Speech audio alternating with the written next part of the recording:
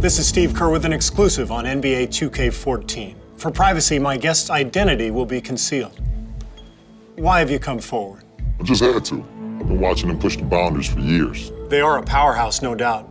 But what are they hiding? They're doing big things this year.